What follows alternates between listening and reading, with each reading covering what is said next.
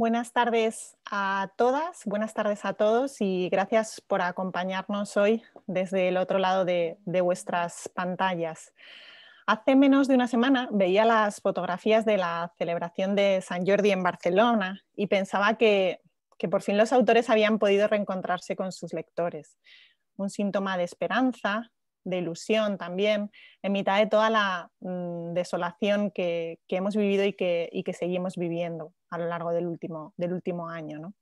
Con ese optimismo que me contagió San Jordi, afrontó este encuentro online, convencida de que más pronto que tarde tendré ocasión de conocer en persona a Adelaide Bond, a la que admiro desde que leí La Niña de la Banquisa. Dejadme, antes de comenzar la charla, que dé las gracias a la editorial Anagrama, responsable de la publicación de, la novela en España, y también al Instituto francés, garante siempre de que, la cultura gala tenga un hogar en, nuestro país.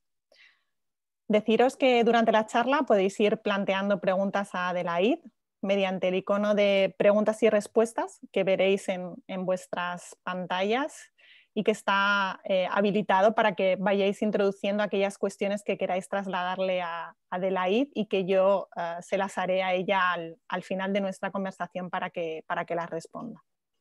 Del mismo modo, hay un icono de traducción en el que deberéis elegir, el, idioma para, poder escuchar la, la conversación.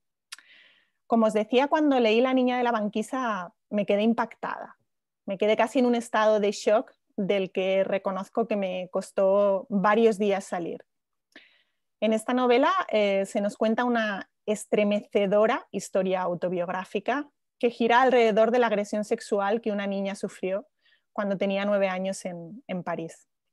No es una historia, por tanto, de, fácil digestión lectora y lo es aún menos si tenemos en cuenta que, su autora, Adelaide, fue esa niña y que años después decidió contarlo debutando en la literatura. En la primera parte de la novela, eh, la autora Adelaide cuenta aquel episodio, como un hombre se hace pasar por electricista y la engaña pidiéndole que le ayude a colocar una bombilla en un rellano del edificio en el que, en el que vive. A continuación la agrede brutalmente. Tras la atención médica, tras la atención policial, la niña se refugia en un silencio que es casi terapéutico.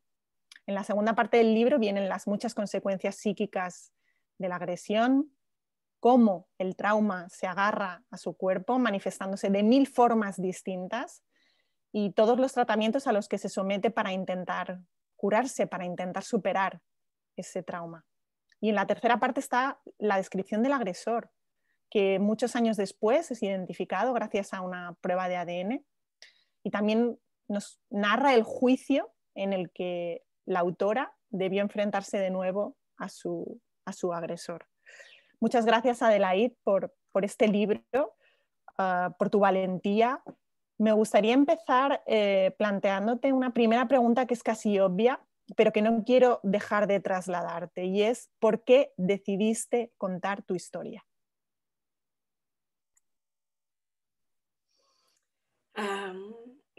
Bonsoir à tous et merci infiniment de m'avoir invité à, pouvoir parler de ce livre en Espagne, qui est un pays qui est très cher à mon cœur. Donc, euh, je vous remercie beaucoup, vous, Inès, l'Institut français et Anna Grana. Euh, je l'ai écrit parce que j'avais pas d'autre choix que de l'écrire. Euh, j'écris depuis très longtemps et chaque fois que j'écrivais, j'avais des crises d'angoisse énormes qui c'était comme si l'acte même d'écrire était quelque chose de d'interdit. Euh, et un jour, j'ai compris qu'en fait, cette histoire m'était restée au travers de la gorge et que tant que je la sortais pas, je pourrais pas me mettre à écrire. Et donc j'ai écrit pour pouvoir écrire. Ça, c'est une première raison. Et puis j'ai aussi écrit parce que j'ai été stupéfaite de comprendre que il y avait des mots qu'on pouvait poser sur ce que je ressentais et que ces mots-là, personne ne me les avait donnés. Et j'avais besoin de les donner aux autres, aux, autres petites filles coincées sur la banquise, à leurs proches. Euh, voilà, j'avais envie de leur faire gagner du temps de vie, euh, tout ce temps où moi je les ai cherchés, ces mots.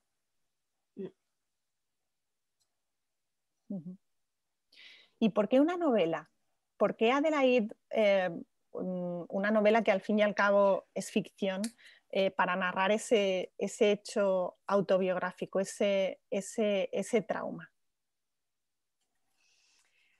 Alors, bon, c'est une fiction dans laquelle il n'y a pas de fiction. Je me suis autorisée euh, mmh. aucun écart avec la vérité, parce que ce que j'avais à dire était déjà trop incroyable pour que je puisse m'autoriser euh, à, à, inventer des choses.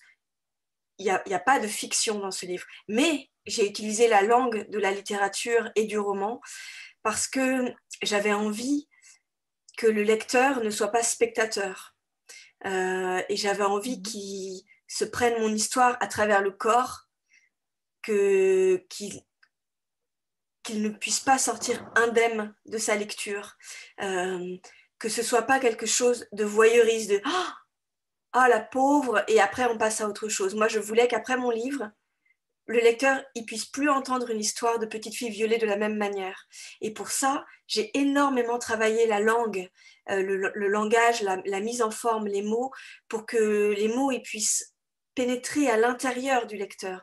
Et, et, et et pour ça, je crois que cette expérience-là, seule la littérature pouvait me la donner. Voilà. Y de alguna manera, um, Adelaide, para ti la escritura fue algo terapéutico, fue un ejercicio uh, terapéutico con el que encontraste una especie de cura.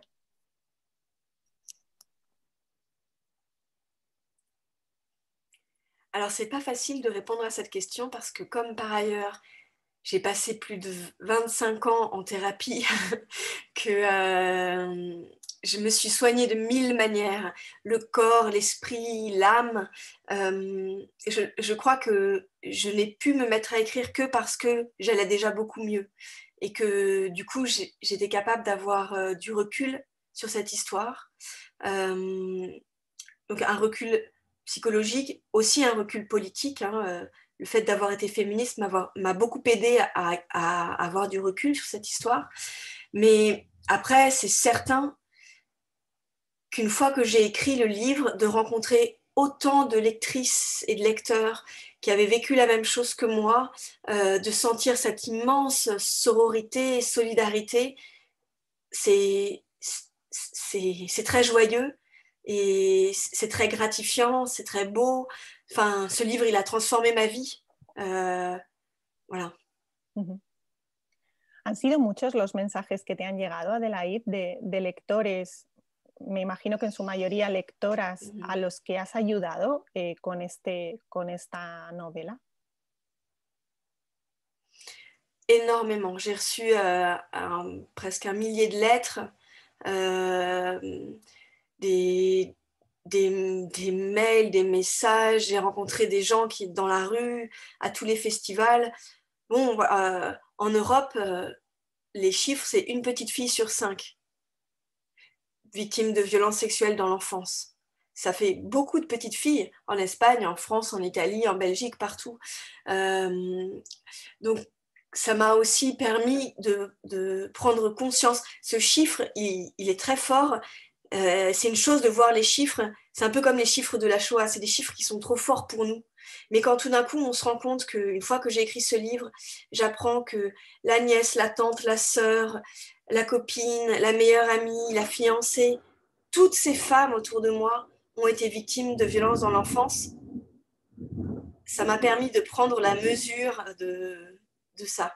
Alors, en même temps que je parle, il y a un énorme orage qui vient d'éclater dans Paris. Je ne sais pas si vous entendez le tonnerre. C'est, c'était la voix de Dieu. Euh. Voilà. No, no, lo escuchamos desde aquí, al menos yo, yo no lo he escuchado, pero sí que parece una especie de sincronía, ¿no? que justo en este momento haya estallado, estallado la, la tormenta.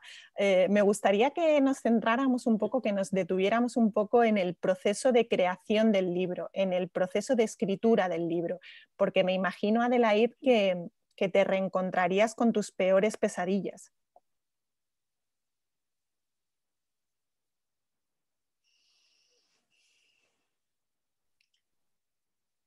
Étonnamment, ça a été une écriture très joyeuse, la plupart du temps, euh, parce que j'étais tellement portée par l'urgence de cette écriture, euh, par sa nécessité intérieure. Euh, ça a été long parce que, parce que j'ai beaucoup, beaucoup travaillé l'écriture et la langue, mais le processus général a été assez joyeux. Après, il y a eu des passages, notamment un chapitre qui, qui m'a beaucoup coûté à écrire et, et, que je reculais, que je reculais. Euh, et puis voilà, à un moment donné, euh, il faut prendre son courage à deux mains et, y aller. Mais, mais ça a été moins terrible que les séances de thérapie, par exemple. Euh, parce que je savais que, que je faisais ça pour, pour les autres, pour, pour les autres filles sur la banquise. Du coup, j'étais tout le temps entourée, soutenue. Oui, je, me suis sentie très soutenue pendant l'écriture. C'était très fort.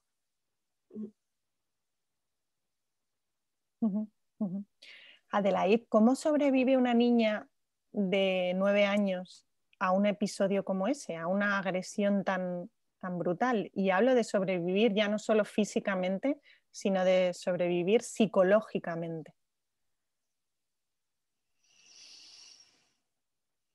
Bah, on met en place plein de processus euh, qui sont pour le coup communs à, beaucoup de victimes, des processus de, voilà, de, dissociation. Euh, euh, moi, c'était la boulimie, c'était la drogue, c'était la mise en danger par les relations sexuelles, par marcher sur les toits, se mettre en danger. Et ça, c'est des refuges euh, en attendant d'aller mieux. Ça permet juste de plus trop sentir, de moins sentir la peur. Et ça permet de continuer à survivre. Et puis après, moi, je crois que c'est la joie qui m'a maintenue en vie. Euh, voilà, je crois que on a à l'intérieur de nous une joie que personne ne peut éteindre et c'est cette joie-là qui m'a portée toutes ces années. Mm. Es curioso lo que acabas de decir, esa alegría que nadie puede apagar y para mí eh, la lectura del libro, eh, al final cuando lo terminé, mm. es como si el libro desprendiera luz de alguna manera.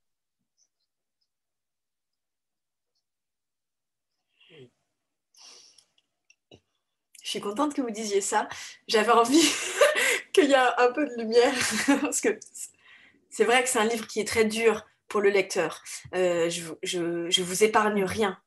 Euh, mais, de la même manière que moi, dans le processus d'écriture, il y avait de la joie, euh, j'ai vraiment essayé d'insuffler de l'espoir, que c'est un chemin. C'est un chemin qui est douloureux, qui est pénible, qui est très cru.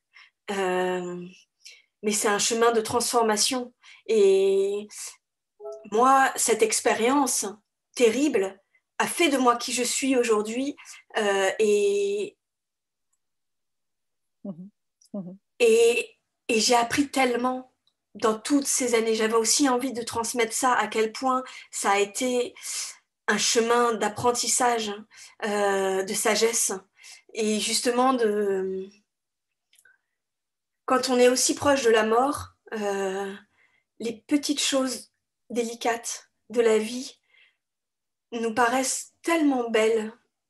on a, je crois, ça m'a donné un accès à, la merveilleuse délicatesse de la vie. Et peut-être j'aurais jamais goûté ça autrement. Mm. Es una, es una. Después de, todo lo por lo que pasaste, eh, sacar esas lecciones es, eh, quiere decir que, bueno, que, el trauma eh, te ha hecho mejor persona, te ha hecho, el trauma te ha hecho que, seas una, una, persona capaz de ayudar incluso a los demás, transmitiéndoles a través de la literatura tu, propia experiencia. Hay, un, hay, una, hay una parte que también quiero incidir en ella y es como también tú destacas lo distinto que fue para ti el hecho de pertenecer a una clase acomodada, es decir, tú tuviste acceso a determinados tratamientos, a determinadas ayudas que otras muchas niñas en tu misma situación eh, no tenían simplemente porque pertenecían a una clase social más baja, ¿no? Como esa eh, esas desigualdades económicas en el caso de las, agresiones, de las agresiones sexuales, de las violaciones, todavía son más crudas ¿no? y más duras. Oui, absolument. Alors, pour répondre à la première partie de ce que vous disiez, je ne sais pas si c'est le trauma qui a fait de moi une meilleure personne. En tout cas, euh, parce que bon, j'aurais préféré, euh, je veux dire, je préférerais un monde où, des adultes ne violent pas les, enfants. Bon, euh, peut-être qu'on serait moins sage, mais on, serait plus léger. voilà. Après, oui, il y a une inégalité monstrueuse dans le traitement des, personnes victimes. Et hum, l'inégalité, c'est une inégalité d'accès aux soins et de temps à pouvoir consacrer aux soins. Moi, comme euh, mes, parents avaient les moyens, alors au début, je ne leur ai pas dit hein, que j'allais voir des les, psys, les psychiatres, tout ça. Dans ma famille, c'était interdit, c'était quelque chose qui était considéré comme euh, pour les fous. Euh, comme des, des, menteurs, des charlatans. Donc j'ai fait ça en cachette. N'empêche que j'avais les sous, l'argent pour aller les voir.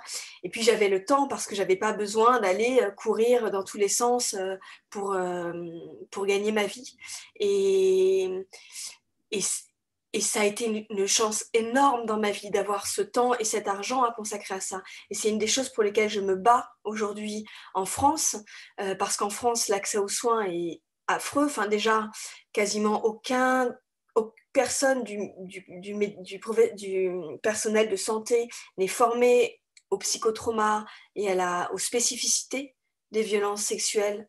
Euh, euh, les soins sont très chers quand on veut voir des personnes euh, spécifiques. Ça prend des années, des années, des années de soins. Et ben, quand on a besoin de gagner sa vie, c'est impossible de consacrer autant de temps à aller mieux.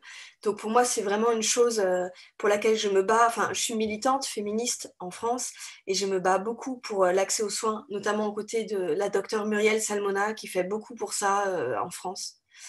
Mm. Mm-hmm.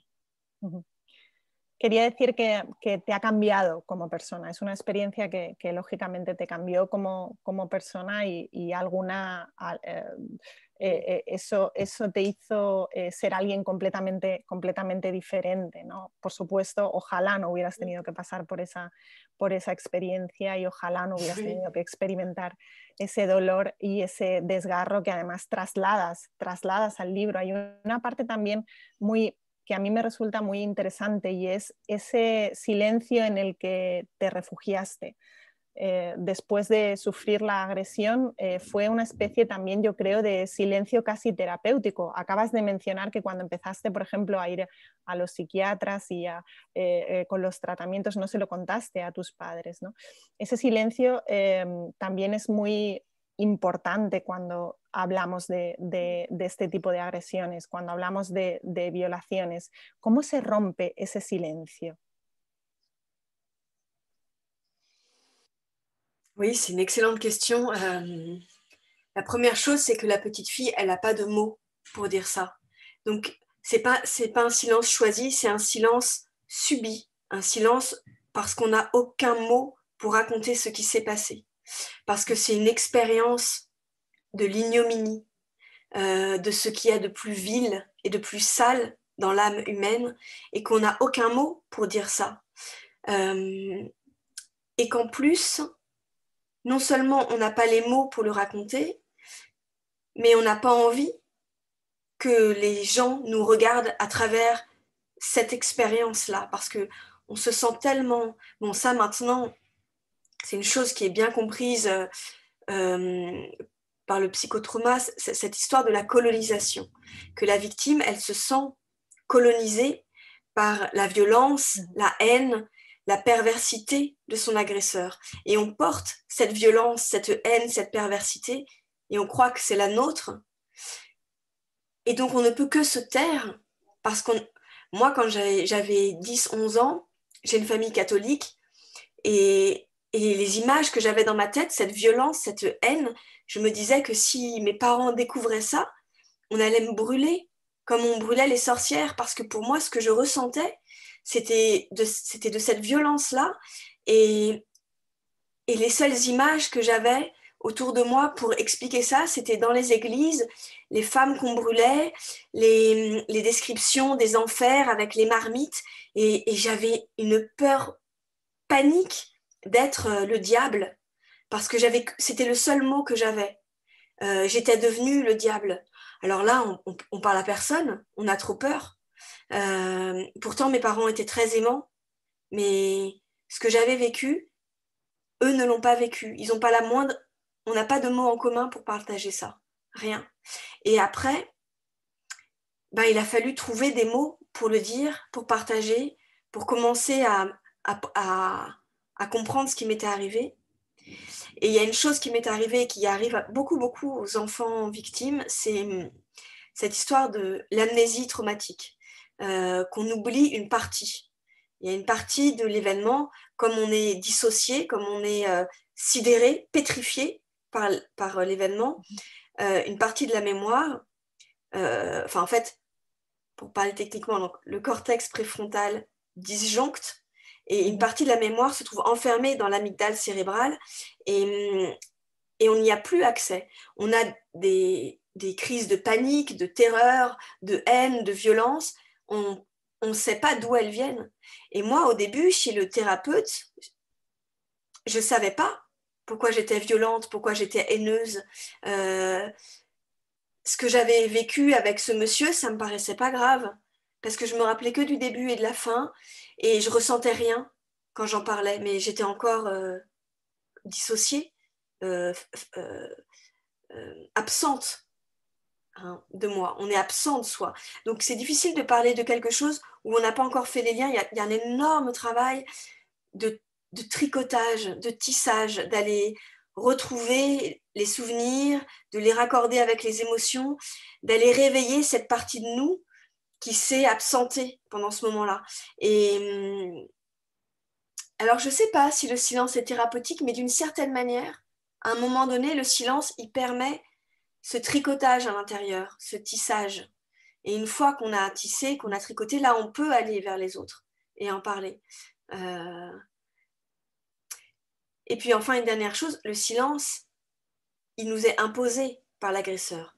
Tous les agresseurs demandent le silence. C'est la, c'est, c'est la, c'est la manière qu'ils ont de garantir leur impunité. Hein. les agresseurs de violences sexuelles euh, de, d'enfants sont très très très peu poursuivis par la justice euh, parce qu'il n'y a pas de plainte, parce que les enfants se taisent et les enfants se taisent parce que on a peur de mourir si on parle. Moi, il m'avait dit tais-toi, et je savais que ce tais-toi, ça voulait dire si tu parles, je te tue. Mm. ¿Cómo es posible, Adelaide, que haya determinados casos en los que se crea al agresor, se cree al agresor y se cuestiona a la víctima? ¿Cómo es posible que eso llegue a suceder? Mm. parce que le, on est dans une société patriarcale où on a pris l'habitude euh, de penser le monde d'une certaine façon. Le discours des victimes, il est toujours euh, fragmentaire. Euh, il manque des parties. Il n'est pas très cohérent, justement parce qu'avec cette dissociation, les victimes n'ont pas accès au repérage spatio-temporel. Et donc, les horaires, le temps, les lieux, il y a des choses qui sont très floues dans le discours des victimes.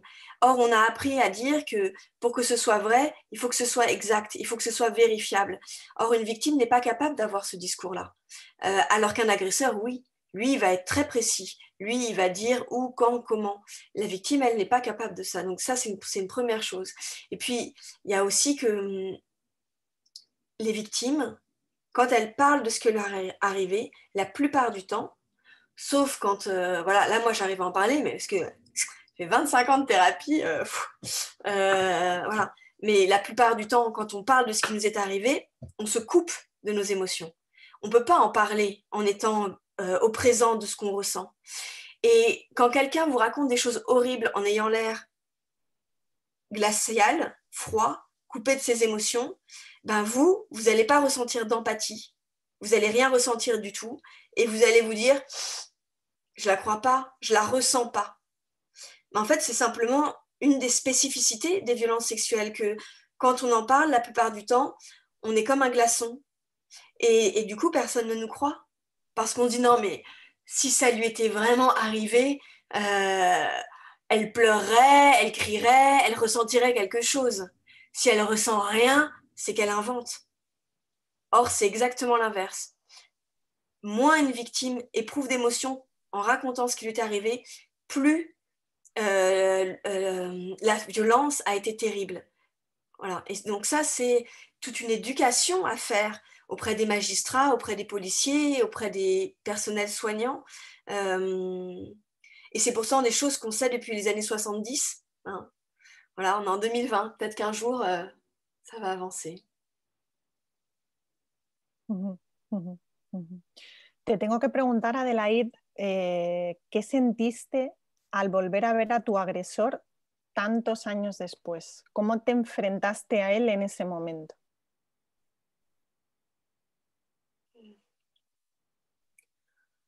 c'est un moment euh, que euh, j'avais euh, dont j'avais très peur. Peur pour plusieurs raisons. Déjà, j'avais peur que ce soit pas lui. parce que quand j'avais vu sa photo, je ne l'avais pas reconnu. Euh, et même si ça correspondait, euh, le mode opératoire, etc., euh, voilà, j'avais cette peur-là que ce soit pas lui.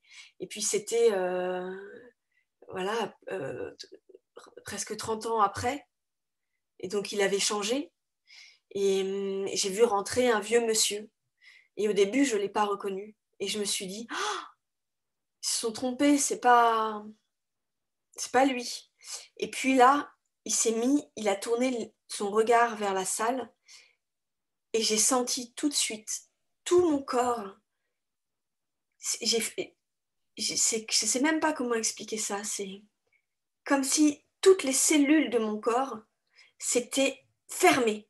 Que je me suis transformée en, un, un, bloc de bois très très dur et j'étais terrifiée qu'il me voie. Je me suis cachée derrière ma psychiatre et je lui ai dit il faut pas qu'il me voie, il faut pas qu'il me voie, il faut pas qu'il me voie. Et j'avais 9 ans.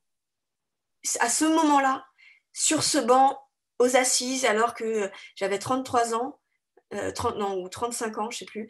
Ben là, j'avais 9 ans et j'étais une petite fille terrifiée qui me voit. Et du coup, je, voilà, je savais, ben, c'est lui. C'est lui, c'est sûr. Je le savais dans mon corps, tout, tout mon corps l'a reconnu. Et même si c'était dur à vivre, c'était un soulagement aussi d'avoir euh, la certitude, voilà, c'est bien lui, mais maintenant, aujourd'hui, il est dans le box des accusés et moi, je suis sur, le banc des victimes et chacun est à sa place. Et, et ça, c'était un immense réconfort. Quand la justice se passe bien, elle vient remettre les choses au bon endroit, euh, à la bonne place. Et, et voilà, moi j'étais entourée, il y avait ma psychiatre, mon mari, mes parents, et lui il était tout seul euh, dans le box des accusés et il y avait toutes les autres victimes et on, faisait bloc. Euh, et c'était c'était beau, ça, le monde à l'endroit, quand on a vécu tant d'années dans le monde à l'envers.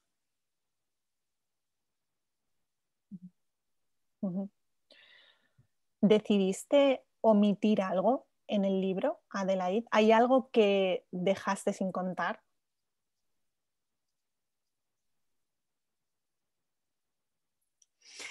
Euh, alors, mon éditrice a coupé euh, à peu près 20 pages parce que euh, avant de rencontrer mon mari, j'ai eu encore un paquet d'histoires foireuse. Euh, et, elle me disait, bon, là, toi, dans la vie, tu as mis beaucoup de temps à comprendre, mais le lecteur, il a déjà compris que toutes tes histoires d'amour, elles étaient foireuses et qu'elles se ressemblaient toutes les unes euh, et les autres, etc. Donc ça, on a coupé.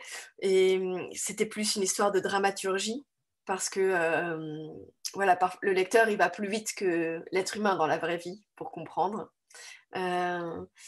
Et hum, il y a un autre passage que j'ai coupé parce que ça, ça concernait euh, mon mari et moi et que hum, c'était trop dur pour mon mari que ce soit dedans. Et du coup, j'ai respecté et j'ai enlevé ce passage. Me imagino que después de sufrir una agresión de ese tipo, de pasar un trauma tan horroroso como, como es una violación, una de las eh, de los dilemas o de las cuestiones fundamentales a las que se enfrenta una mujer a lo largo de, su vida es eh, la maternidad, eh, si quiere o, no ser madre. Mm, no sé si tienes hijos, eh, ¿cómo te enfrentaste tú a ese dilema? Cuéntanos un poco.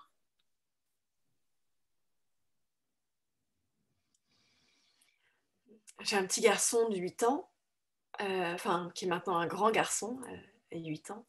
Euh, et la maternité et la première année de sa vie ont été les moments les, plus difficiles de ma vie, et les plus joyeux, et les plus tendres, et les plus terrifiants. ça a été le moment où j'ai été le plus perdue.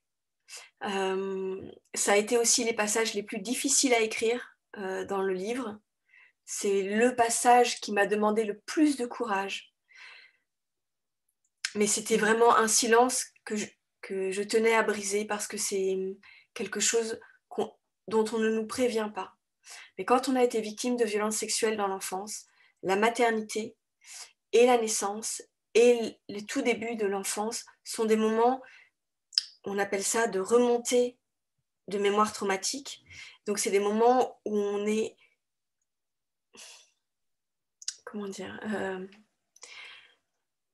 taillé en pièces euh, comme des éclairs par des images très violentes euh, et, qu'on se demande.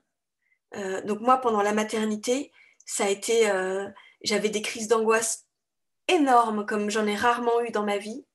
en plus, le, le psy qui me suivait depuis 11 ans euh, est mort d'une crise cardiaque. Donc, c'est beaucoup. Euh, voilà. Et après, j'avais très, très peur au moment de l'accouchement euh, que l'agresseur soit là parce que il faut bien comprendre que quand même, jusqu'à temps qu'on soit soigné, on vit avec son agresseur. On vit avec lui. On fait l'amour avec lui à trois. Il est, tout, il est dans le lit. Euh, il est dans le lit avec tous ses amoureux. Il est dans la peau, il est dans la tête, il est dans le cœur, il est partout avec nous. C'est, on a, j'aime bien ce mot de colonisation. Euh, on est colonisé par notre agresseur. Il est tout le temps avec nous. Et pendant la grossesse, c'était insupportable de sentir j'avais j'étais terrifiée pour mon enfant j'avais peur que cette euh, c'est pas comme un fantôme, mais c'est une présence en soi, une présence de haine en soi. J'avais peur que mon enfant soit contaminé, soit sali, soit hum, voilà euh, abîmé par, par l'agresseur. Et j'avais très peur pendant l'accouchement que de sentir sa présence. Je voulais que mon accouchement soit juste mon bébé, mon mari et moi, sans la présence de l'agresseur.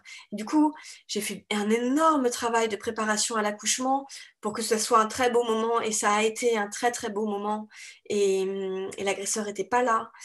Et après, au tout début de la naissance, j'ai été assaillie d'images très violentes et j'avais très peur de moi, j'avais peur de faire mal à mon enfant, j'avais peur de l'abîmer, j'avais euh, donc j'ai eu beaucoup d'envie suicidaire euh, à cette période-là, ça a vraiment été une période difficile jusqu'à ce que je rencontre une psychiatre qui m'explique que c'est des symptômes qui arrivent à énormément de femmes qui ont été victimes dans l'enfance. Donc c'est pour ça que je, que je l'ai écrit, c'était pour euh, dire aux autres qui n'avaient pas été prévenus comme moi, vous inquiétez pas, c'est normal et ça va passer. Euh, et c'est le passage pour lequel j'ai eu le plus de lettres. J'ai eu un nombre incroyable de lettres de maman qui me disait mais j'ai ressenti la même chose, j'ai pu en parler à personne parce qu'à qui on dit ça? À qui on va dire euh, j'ai peur de violer mon enfant? Tout le monde va nous prendre pour des folles, on va nous enfermer. Enfin, c'est, on peut le dire, on peut partager ça avec personne. Mais hum, une fois qu'on a compris que c'est des images qui sont enfermées dans notre mémoire, qui reviennent, mais qui ne nous appartiennent pas, qui sont pas à nous.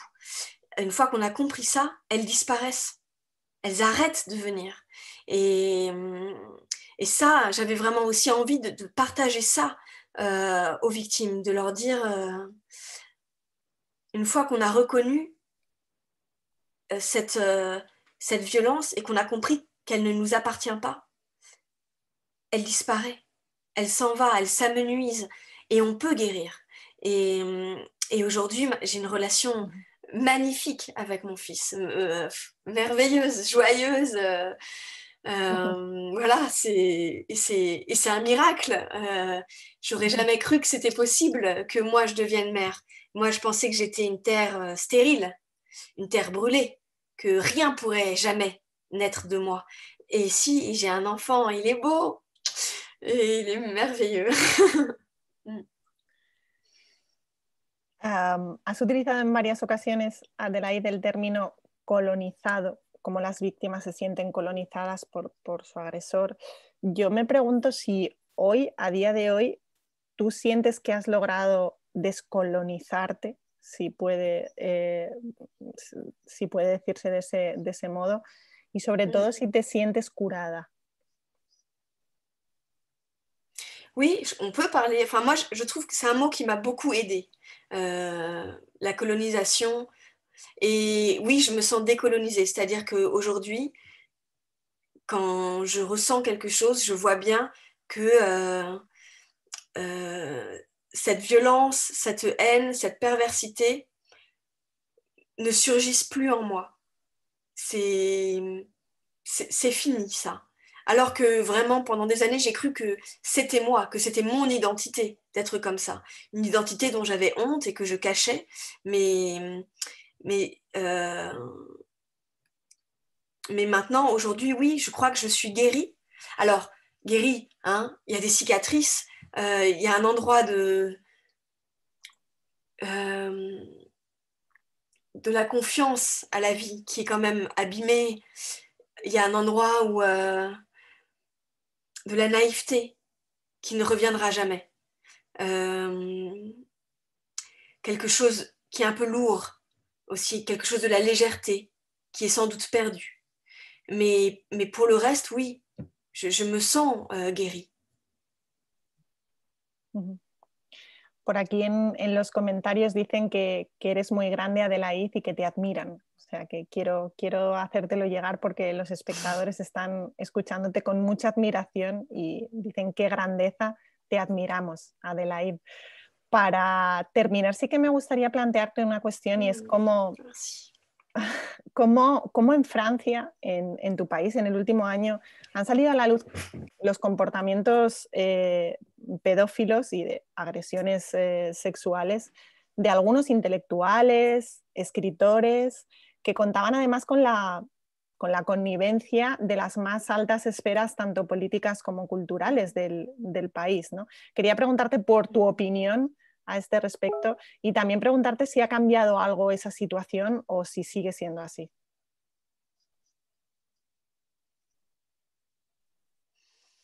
Alors, je crois que c'est un bouleversement euh, énorme. Euh, le, le, le, plus extraordinaire pour moi, c'est tout ce qui se passe autour de la question de l'inceste. Euh, parce que moi, j'ai eu beaucoup de chance. C'est un inconnu qui m'a fait ça. Et ma famille euh, m'a soutenue. Euh, quand, il s'agit d'inceste, le poids du silence est écrasant pour la victime parce que c'est soit elle parle et elle perd sa famille euh, et elle brise sa famille parce que c'est la culpabilité qu'on lui qu'on lui donne, hein, que la société lui donne. Euh, et c'est ce qui se passe la plupart du temps. La plupart du temps, les, personnes qui sont victimes d'inceste et qui dénoncent l'inceste euh, se retrouvent seules. Et qu'aujourd'hui, autant de femmes si courageuses parviennent à dénoncer l'inceste dont elles sont victimes.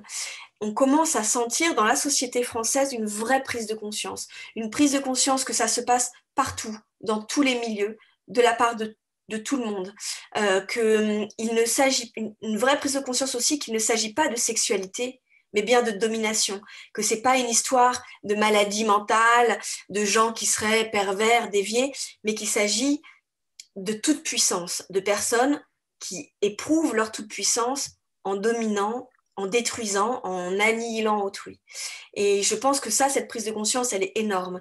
Une autre prise de conscience qui a lieu aujourd'hui et qui me paraît fondamentale, c'est, que pendant des siècles, c'est la parole des puissants qui était entendue. Euh, or, ben, les violeurs, c'est toujours des puissants, vu que c'est des gens qui sont accros à la puissance, à la toute-puissance. Euh, qu'aujourd'hui on prête attention à la parole des enfants, euh, des femmes, c'est pour moi un, changement systémique. Euh, je pense qu'on est en train de glisser d'un système à un autre et qu'on est au, moment de ce, de ce nœud. Il va y avoir, euh, les Américaines, elles appellent ça un backlash. Hein, il va y avoir une revanche. Il y a déjà en France, notamment par exemple, il y avait un projet de loi euh, bon, ça, c'est une petite. Enfin, c'est intéressant de ce que ça raconte. Un projet de loi très ambitieux sur l'inceste et les violences euh, sexuelles faites aux enfants. Ce projet de loi, il est passé à l'Assemblée. Le ministre de la Justice français a dit devant l'Assemblée nationale française il y a des incestes heureux.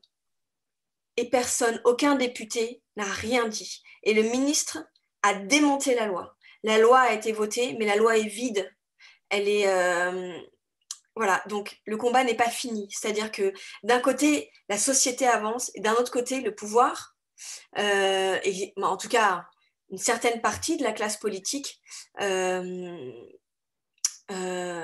freine, freine ce changement on va avancer euh, petit à petit. Euh, mais oui, je trouve que les choses, elles avancent vraiment euh, et elles avancent dans, toute l'Europe. Enfin, mon livre, il a été traduit en Grèce, en Italie, en Espagne, en Allemagne et je vois que partout, ça avance.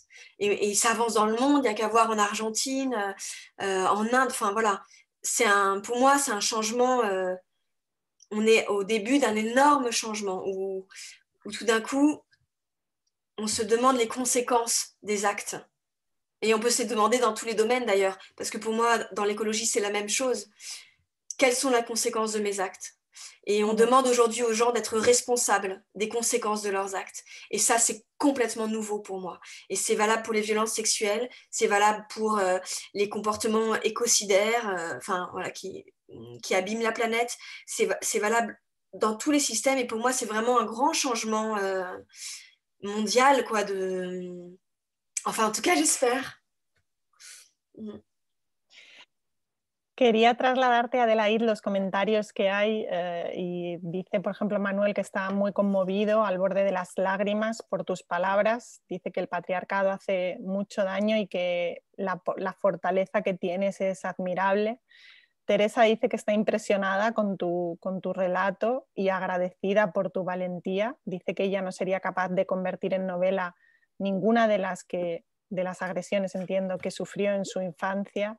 Eh, dice Marina también eh, que gracias por tu valentía y por encontrar las palabras eh, para decirlo. Dice Carlos que está muy consternado con esta dura experiencia y que muchos juristas que hacen las leyes deberían leer tu libro.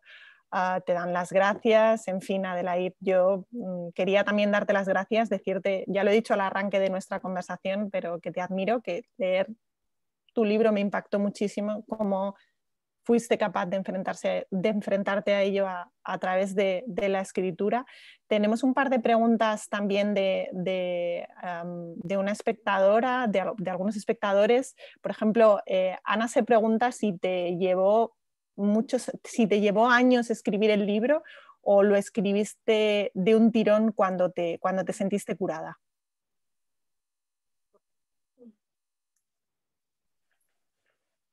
Euh, ça m'a pris deux ans et demi euh, et j'ai fait 19 euh, versions.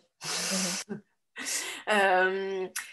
parce que j'avais une note en tête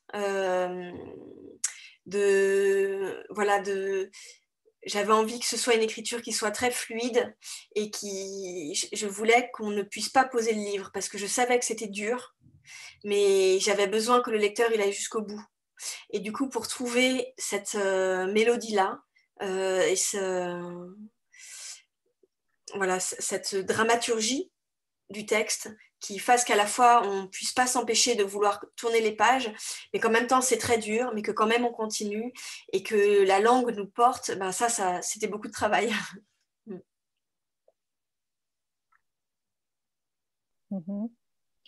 Ana también pregunta cómo pudiste separar eh, la escritura terapéutica de la voz literaria?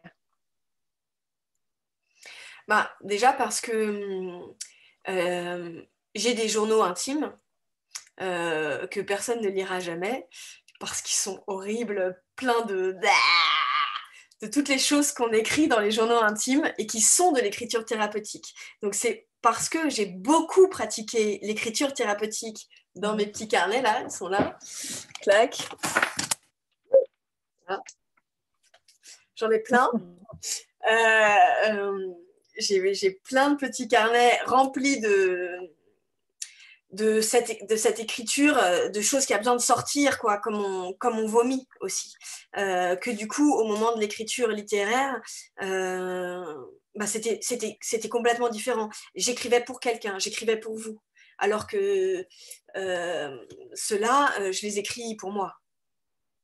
Mmh. Mmh. Ah, te dicen también, eh, Inés eh, te da las gracias, dice muchas gracias a Adelaide por tener el valor de compartir tu experiencia y sobre todo por ayudar a otras víctimas. Las leyes cambiarán si personas como tú y cada lector de este libro seguimos, seguimos adelante.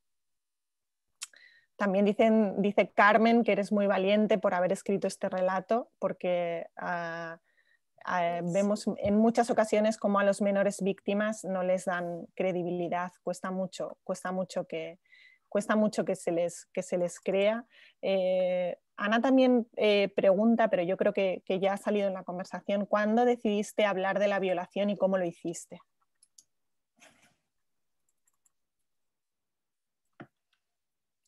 Euh, c'est un mot qui est arrivé tard parce que j'avais pas compris que c'était ça. Qu'il m'avait fait au début. Euh, déjà parce que les souvenirs précis de ce qui m'est arrivé ont mis du temps à, revenir et que le premier souvenir qui est revenu, c'est celui d'une pénétration digitale et que moi, dans ma tête, le viol, c'était forcément avec un pénis et, et j'avais pas compris que c'était un viol ce que j'avais. Donc, euh, euh, je l'ai compris très tard, vers vers 28, 29 ans. Et ça a été merveilleux d'avoir ce mot parce que tout d'un coup, je savais que c'était ça qu'on m'avait fait et ça, c'était grave. Et ça, ça pouvait expliquer l'état dans lequel j'étais. Tant que j'avais pas le mot viol, ben je, je pensais que j'étais complètement folle et que euh, voilà, je, c'était à cause de moi que j'étais si malheureuse que rien m'était arrivé à moi. Euh, mais quand j'ai eu le mot, ça m'a ça m'a soulagée parce que ça m'a permis de comprendre voilà ce qu'on m'avait fait. Mais il est venu très tard. Euh, quand j'ai compris que voilà puis après le reste des souvenirs sont remontés euh, mais voilà ça a mis mmh longtemps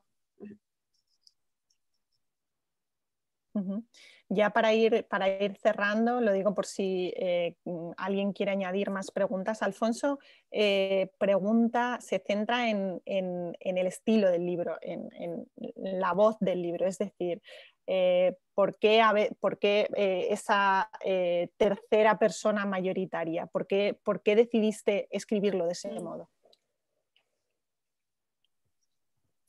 Alors, je vais essayer de répondre euh, de manière simple. Quand j'ai commencé l'écriture, tous les passages euh, d'avant mes 28, 29 ans, je n'arrivais à les écrire qu'à la troisième personne. Je ne comprenais pas pourquoi. Je trouvais ça bizarre. Euh, j'avais peur de me prendre pour Napoléon. Et du coup, j'essayais de les mettre à la première personne. Mais à la première personne, ça ne marchait pas. Alors, je me suis dit, bon, on verra plus tard, écrit comme ça vient. Et puis en retravaillant, en retravaillant, toujours c'était à la troisième personne. Et tandis que la suite, c'était à la première personne. Mais en fait, l'écriture, c'est ça qui est merveilleux en littérature, c'est que quand on écrit, il y a quelque chose qui écrit, qui est beaucoup plus grand que soi, et qui sait beaucoup plus que soi, qui est en avance.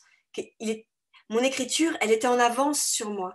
Et en fait, je me suis rendu compte après que tous ces passages à la troisième personne, c'était des passages de ma vie où moi, je me vivais complètement dissociée, où j'étais incapable de dire je, où j'avais pas d'identité. Je me vivais en fragments, j'étais gentille euh, cinq minutes et après j'étais avec quelqu'un d'autre et j'étais comme ça, et puis après j'étais comme ça. J'avais plein de personnages, mais j'étais jamais moi. Euh, et, et du coup, l'écriture refusait le jeu mais parce qu'il n'y en avait pas à l'époque. Et, donc, dans le livre, j'ai respecté ça. Ce passage de, de elle à je, c'est vraiment ce trajet euh, d'une identité en morceaux, en petits bouts, à, euh, à, une unité, à, à, une identité. Et parce que c'est aussi vraiment ça que fait le viol, c'est que ça nous brise en petites pièces et qu'on ne sait plus qui est qui. Euh, alors que voilà. Donc, euh, du coup, j'ai vraiment respecté euh, cette intuition de l'écriture. et il y a même le tu qui arrive à la toute fin et qui est arrivé la fin, le dernier passage que j'ai écrit du livre, qui est la conclusion, où c'est moi qui parle à cette petite fille d'avant le viol, cette petite fille que j'avais perdue, avec qui j'étais plus du tout mmh en contact et que j'ai que retrouvée au fil de l'écriture et au fil du travail. Es verdad que una de las partes más eh, hermosas, si me lo permites, del libro es ese diálogo que se establece prácticamente, lo que acabas de mencionar, ¿no? ese diálogo que establece tu yo adulto con el, el yo, eh, el yo de niña que fuiste y que, y que sufrió aquello, ¿no? como si de alguna manera estuvieras diciéndole, ha pasado, hemos sobrevivido, eh, me siento muy orgullosa de la persona en la que me he convertido. Oui, c'est vrai. Je me sens euh, en entier aujourd'hui.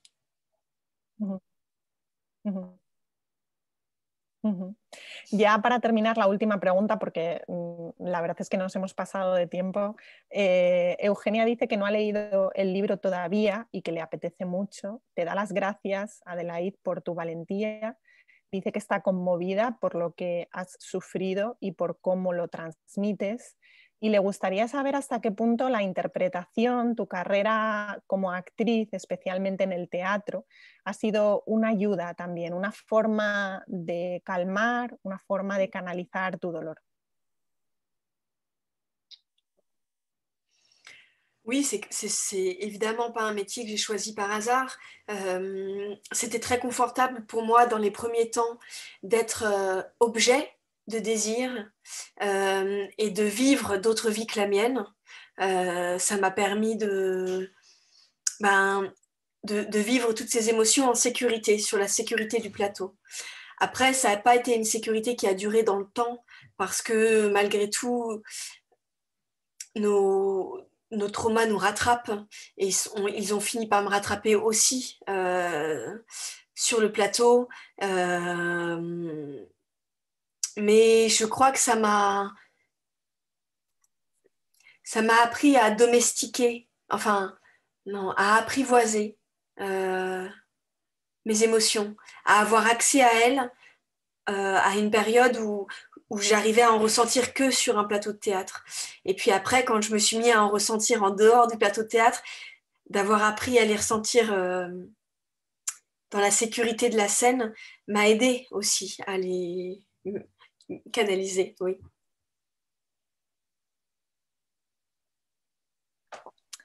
Pues eh, muchísimas gracias, Adelaide. Ha sido, eh, la verdad es que muy, muy emocionante eh, escucharte como lo, fue, como lo fue leerte, decirte que ha sido un placer charlar contigo. Eh, como digo, mm, te admiro, eh, te doy las gracias por esa valentía, cosa que todos los espectadores que nos han acompañado esta tarde gracias al Instituto Francés y a Anagrama eh, también te han, te han, trasladado. Te dice Carlos que esos diarios que los pongas bajo siete llaves, que los guardes. y bueno, pues nada, decirte que, que te cuides mucho que sigas eh, así, que sigas escribiendo porque eh, a tus lectores nos hace, nos hace mucha falta. Merci beaucoup. Merci infiniment pour cette rencontre et pour toutes les personnes qui ont été présentes euh, pour nous écouter. Merci Anagrama de m'avoir publié en espagnol.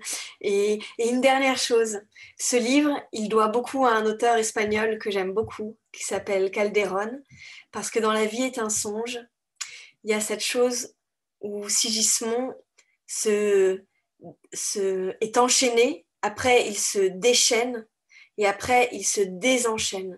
Et c'est vraiment ce mouvement qui m'a qui aidé à construire la dramaturgie du livre. Donc là, j'ai l'occasion de remercier Calderon. Merci. Pues agradecido queda Calderón de la Barca, que dice mm. Teresa, nos lo puntualiza efectivamente. Teresa también te dice que ha sido impresionante y que muchísimas gracias a las personas y a las instituciones que lo han hecho posible y sobre todo gracias a ti, Adelaide. Cuidaros mucho todos. Eh, espero, eh, como dije al principio de la conversación, tener la oportunidad de conocerte en persona, estrecharte la mano y, darte las gracias eh, personalmente porque ha sido todo un acontecimiento conocerte y y leerte. Cuidaros mucho, muchísimas gracias eh, al Francés, muchísimas gracias a la editorial Anagrama y estoy convencida de que seguiremos, seguiremos viéndonos y seguiremos leyéndonos. Buenas tardes. Merci.